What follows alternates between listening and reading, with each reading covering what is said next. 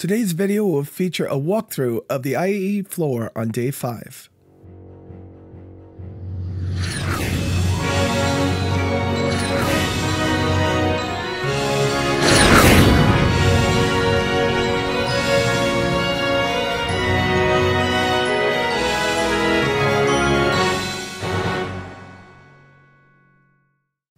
Welcome back to Star Citizen Addicts Anonymous. I'm Nikki Batgirl D'Angelo, your host.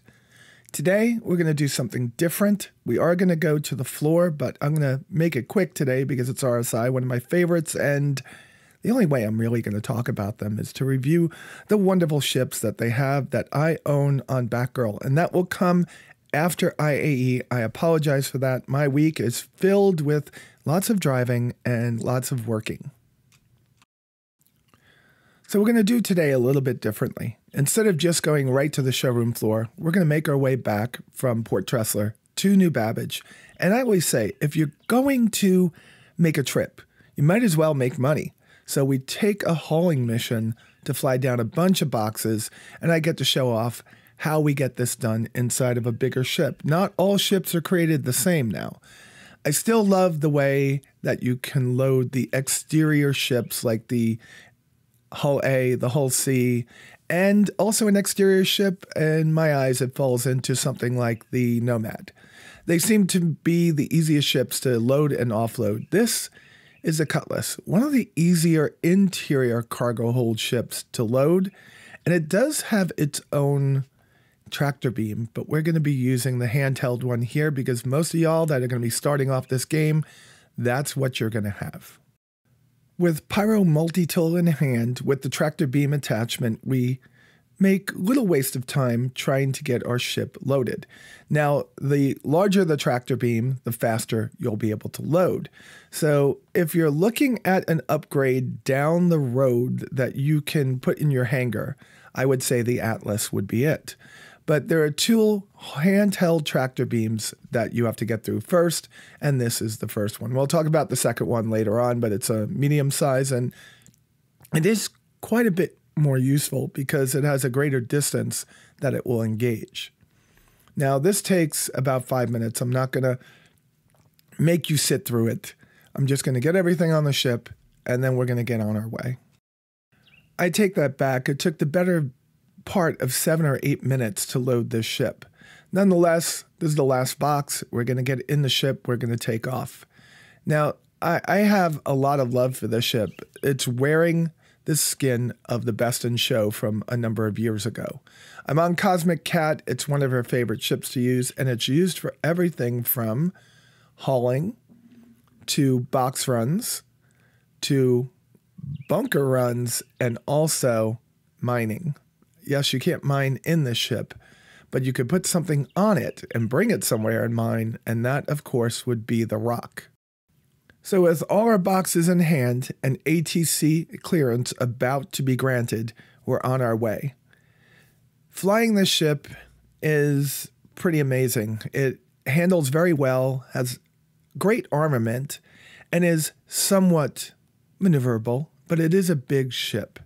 And it's easy to have different parts of your ship blown off by smart AI. Now, luckily, with desync and the current state of game, there's not a lot of smart AI out there. What you also just saw me do was rotate the engines. This does have VTOL. This ship is going to be great when flying in atmosphere becomes harder later on down the road. Ships that don't have VTOL will find it very difficult to hover with a lot of stress being put on their maneuvering jets. This ship can stay in a hover for a while, which, if you have some of the versions with the guns on the sides, it gives you time to lay down covering fire while you're getting your friends ready to jump out and take whatever patch of land they're trying to capture. This is great in org versus org battles. It's great in Jumptown, and you see it a lot in the verse. It's one of the fan favorites, and it has won the best in show quite a number of years, or at least competed in the best in show, as you see here with the purple best in show skin. With landing behind us and placing our last box on the freight elevator, we're able to go over, send our booty down into our warehouse where it will be accepted and it will close out our mission, giving us 13,000 credits just from going from Port Tressler down to New Babbage. Taking a look at the schedule, we see that we have a few big days coming up with Drake on Thanksgiving, Origin on Black Friday, and the Saturday after is Anvil Aerospace. We might see the Paladin that day. Today's floor is taken up by the Polaris, the most military capital ship in the game. You will not be able to buy these in game. You will have to manufacture them, and we could talk about that at a later date. But I own one of these. Thank God. Thank you all for supporting my channel. The RSI Polaris is flanked by two relatively new ships, the Zeus Mark II. There's two variants here. I'm only going to walk through one. This is the ES. It's an exploration or extended range, or it's just a different version from the cargo version, which is on the other flank. It's a great ship. I, I think it's one of the best ships that RSI has put in the game in a while. We'll walk through it in just a little bit. We're going to walk around the outside of it and right inside. You'll see the smaller cargo hold. I think it holds just under 100 CU of cargo in here. You could fit a lot more and still get around, but the beauty of this ship is with new design language, you finally have two entrances into a ship. I always, always, always am critical of my Mercury Star Runner because it's supposed to be a data runner, and there's only one way on and one way off that ship, and it's through the cargo hold. I had Chris Roberts at my dinner table one day, and he said that they were going to rework it at some point, and that's never happened. That was two years ago, so I don't know if it's going to happen or not. These empty component slots are for new components that will be added in in later dates, and that's the other entrance. And a typical RSI cockpit. It is just beautiful. Look at it. I love this ship. I don't fly it as often as I want to. Gun racks right where you are. So if you're boarded, your guns are right there. I think the design language of this ship, I think the usefulness of this ship is understated by many people, and it, people that fly it understand it within moments of getting into the cockpit. So I think you can pick up in my reviews that I'm not doing this for the seasoned Star Citizen veteran. You all have been watching videos for years and have come to understand that what you see in a video one year might be completely different as there are many changes or additions to the Star Citizen gameplay. So I am gearing this towards people coming into the game and I am relentlessly trying to guide them towards starter ships, making money in the game and buying up in the game to ships that they like. I will never tell you not to buy a ship that you really like to help support the game. But what I do say is you don't need to buy one of these expensive ships in order to enjoy the game. So we are going to go into the first hall over here. And of course, it is the Connie Hall. Constellation was the first larger ship in the game. It is one of the tried and true beauties of all ships in all hangars, in my opinion. The Scorpius is a heavy fighter that you may put inside of a Polaris if you purchase it. It's a multi crew ship. If you have a partner to fly with you, this is excellent. This is Chris Roberts' X Wing, and it looks like an X Wing, kind of, sort of, when you extend the wings. This first constellation is the Phoenix. It's beautiful from the outside, but in my opinion, it has the worst interior of any of the Connies. It is a poor design that comes from the ships being built before knowing what the components were going to take up and what the gameplay was going to be. It has a large area for a hot tub that's just useless. No galley, couple of cabins. It's just, in my estimation, beautiful exterior, kind of nice interior, and definitely in need of a redesign. Now, we don't have to say much more about the ship that's in front of us right now. That's the Andromeda. It's the base Connie, and this is the Taurus. So you have three Connies right here that are pretty amazing. And I am I, I don't know how to express all the fun I've had in this game, especially when you put your Lynx or your Ursa in the bottom, go find a new place on a planet, and just go out for a ride. The center Connie over here is the one that I think I'm going to have in the end. And this one is the Aquila, and the Aquila is the exploration variant. Now, I don't need this in my hangar. I already have a 600i, which we'll talk about during Origin, and I'm going to have an Odyssey, and I have a Zeus ES. I have so many exploration ships, the 400i, they probably don't need it, but there's just something about it. This Scorpius is just something that will annoy you like a mantis will, and it has an EMP in it, and it could just stop you in your place and then take you out rather quickly. Now, with time to disable being something that's going to be big in the game, so we cut down on the deaths of ships, the deaths of players. That is going to be a good idea. So you can have a boarding ap- action, steal a ship, a boarding action, and um, I guess subdue a bounty and then grab them. And maybe a hawk would be with that Antares and put them in the back of it and bring them into face justice. All right, this haul is going to be fun because way, way, way back when in 2013, when the hangar went live, the Aurora was the first ship I get to go in. So we'll talk about those in a little bit. This is a Mantis. Put one of these in a Polaris utilize that giant EMP inside of it or the quantum QED, I think it's called. I, I, really don't know what it is, but it's an interdictor, right? Keeps things from being able to go into quantum, whether it is nav mode or it's jumping between planets, jumping between moons. You're not going to be able to do it. And if you put it in a Polaris in order to stop it, you're going to have to kill the Polaris. Now, that is gameplay that's not intended. It is something that I'm sure will be changed. And this size ship was never meant to hold a capital ship in place. It's meant to hold ships of its size in place. So think of this more or less working with the advocacy or with small squadrons trying to take out Vanduul and not with a Polaris trying to take out a kingship.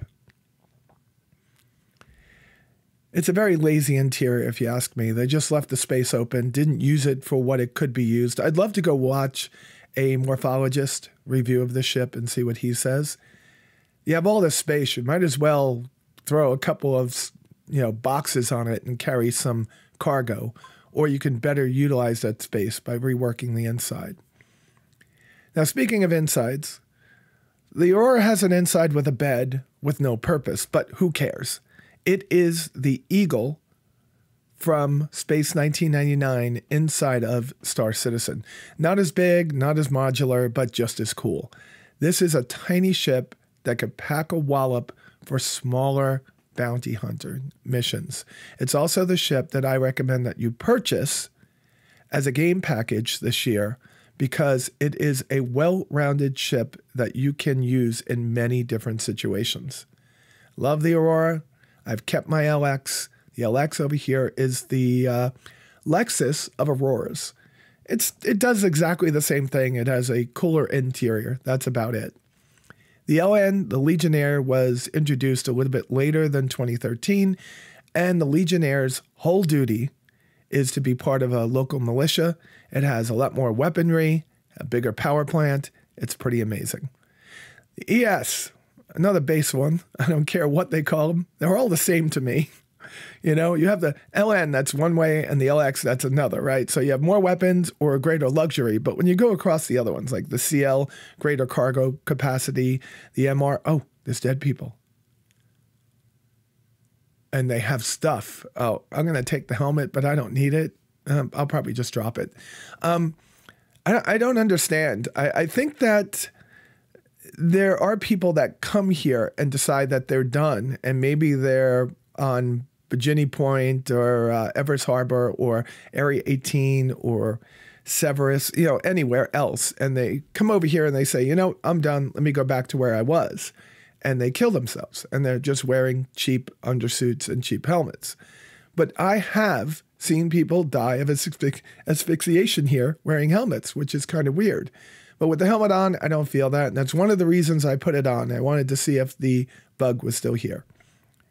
So that's pretty much it for ships from RSI. You know, you would think that they have a lot more, and they do. And we're going to go see a few of them right now. All right, we've made it to the lower showroom floor, and we're going to start looking at the holo viewers after I take a look at what I was wearing. This is going to be the Apollo. The Apollo has two versions of it, and they really are waiting on drone gameplay. Those people that have bought this for $260, I think it was, are still waiting for it. Now, I bought the Polaris back in 2016 and was just delivered it eight years later. I hope that isn't going to be the same for this, but we're coming close to it. This is the end all be all small medical ships. They would be taking things to like a Galaxy and an Endeavour. They're going to have tier one and tier two beds, I believe, and be able to do both trauma and, uh, well, let's just say they're going to be a good, good ship. This is the Arrastra. Arrastra is a mining ship. I have one of these. I think it's going to be wonderful for that. I guess it's going to be like six to 10 people that will be able to mine on this, but it also refines from what I understand. And this I needed to buy because I'm really into industry all of a sudden, when in the beginning it was all exploration and fighting. Oh my lord, it's the Galaxy. The most controversial ship of Star Citizen, CitizenCon 2954. Many people bought this one because it was going to be a medium sized base builder. And then it was dropped that that's not what it's going to be. But what I think it's going to be, it's going to be better. It's a hospital ship, it's a cargo ship, it's a manufacturing ship. And while base building will be cool in the beginning, once your base is built, it's done. Manufacturing goes on forever. And I think this is going to be one of those ships that really takes the game to the next level. I'm hoping this comes in the next year or so, or definitely with the launch of 1.0. Oh boy, what is this? This is the Perseus. This is a small gunboat. It has a very powerful gun. I believe it's more powerful than the twin guns on the Polaris because the Polaris is mostly a torpedo boat, but this is quite a bit smaller. I think it's six to eight players, and it is I, I own one of these. This is going to be amazing. It's going to be really fun to fly. What we don't see here is the Orion, and the Orion is a mining platform. It is a huge vessel. It's relatively inexpensive right now, and I would say that if you have money to spend and mining is going to be your game, that ship is only going to get more and more expensive, especially in game. It is something to think about and definitely watch Info Runners. Look them up to find out how you could CCU to it for almost half the price. Anyway, these are the Ursa and Lynx rovers. The two Ursa rovers are just general, uh, I would say, cargo and exploration on the first one. It could handle something inside of it, right? A couple of boxes. This middle one is brand new to me. I haven't seen it, but it has a tier three bed inside of it, I think. Yeah, I think it's the lowest end bed. And then this is the luxury, which I own one of these and I think it's cool. Uh, I think I'm going to pick up an Ursa Medical so I could put it in a couple of ships and have a respawn point. But you kind of have to ask yourself, like all this luxury stuff they have in the game, without there being any gameplay for it, what exactly is it going to do? All right, we're going to run in and out of these ships as I close out. IAE is the biggest event of the year for Star Citizen because all the sales that they have generally gain them lots of money to keep up on the development of the game. Now, selling ships is not the only way that CIG intends on creating revenue in order to keep making the game. We're going to learn more about those different plans they have after 1.0 comes out. The Polaris I own I am not going to waste your time going through it today. So, what I will say is that I am definitely going to go through mine, fly it around with some friends, and do a video after the Thanksgiving holiday. My next week is absolutely nuts. I work in retail and I'm working 10 and it's going to be 13 hours because I have an hour and a half drive in each direction, 13 hours every day. Doing the quick videos of the showroom floor is about all I'm going to be able to do. But it's not going to scare me away. And hopefully, now, after a video every day for almost a week, you understand I am back. If you like this video and you want to see more like it, click the thumbs up button below. If you are a subscriber or a brand new subscriber, please click on that bell shaped icon and click on all to make sure you get notified of all my future videos. And with that said, you all be safe out there, and I will talk to you soon. Thank you so much for watching my videos. You can subscribe to my channel by clicking in the button in the upper left. You can support the channel by going to Patreon by clicking the button in the upper right. On the left, you'll see my latest video, and on the right, you'll see a video that YouTube thinks you will like.